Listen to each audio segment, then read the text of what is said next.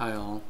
So in these tutorials I'm going to be going over rendering in Photoshop um, and in class we spoke about importing a drawing, importing your line weights into Photoshop from Illustrator and then organizing your drawing into different layers. Um, so I'm just going to create a new layer here and that'll be my white background layer and this will allow me to see the image which right now has transparency so I'm going to just move that to the very back of the image so organizing my layers there I'm going to select the entire window while white background is current and go to edit fill and I'm going to select white background from the drop down menu. There's different options for the colors, but I'm just going to select white and hit OK. And then we should see our drawing a little bit more clearly. And then I'm just going to click to de deselect the window frame. Um, if I zoom in here, you can see their line weights are looking correctly. I've already assigned these different line weights in Illustrator. and so I'm gonna go ahead and make a new layer here and I'm gonna have my layers organized by having each of them start with the word color. So in this case I'm gonna color in the paving. So I have a color paving layer. And I'm gonna turn off all the other layers um, and try to find a boundary that has a layer that has a boundary that I can fill in. So I can see this is the entire outline of the paving that I want to fill in. So again, we can use our um, color tool to select the color of, that we want to apply to that area.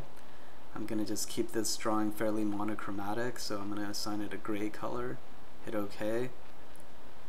And now to select this area, we have a couple of options. There's the select tool and the magic wand tool uh, you could see if I select the magic wand and click it's not going to find that boundary um, so there's a couple of different options. We could try a different layer but it's still not finding that on that layer.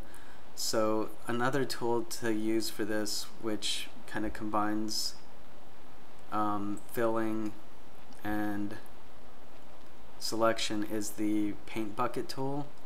So it's located under the gradient tool icon, but if you select paint bucket tool, now we can go to our selection, click, and you can see I fill this in on the drawing layer, which I don't want to do, so I'm going to undo that.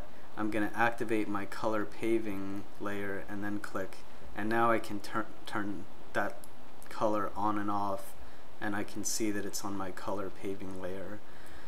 So I also have the DWG uh, layer on top of my color layer, which is something you want to always make sure that you do. So I'm going to create a new layer here. I'm going to double click and I'll call this color pool. So this will be this little pool in the Barcelona pavilion um, and I still have the boundary for the pool, I'm going to keep it monochromatic also and just choose a slightly lighter color to represent the water. And I'll use the paint bucket tool again. Make sure my color pull layer is active and I'll just click to fill that in. This is a little bit too similar in color um, so I'm going to just lighten this up a little bit. and I'll select a lighter gray, hit OK, and I'll fill that in, and that gives me a little more contrast. And so right now, again, in terms, it's really important to keep your layers organized.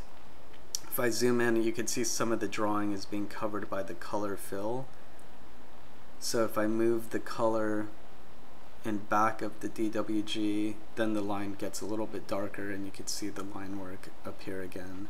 So it's always really important to manage your layers and make sure that your DWG layers, all your line work is in the foreground of the of the file um, in terms of layer organization. So that's some basic way to start to fill in your drawing and we'll continue with the next video uh, adding some more effects.